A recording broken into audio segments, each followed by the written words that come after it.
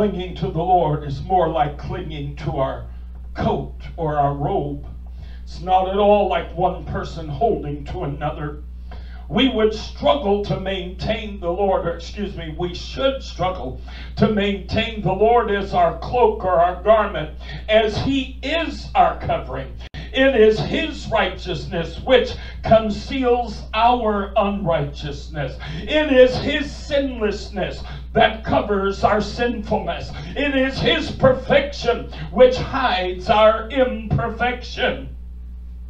But we must maintain our relationship with Him as our covering by faith in His gospel and according to the promise of His grace. Hallelujah.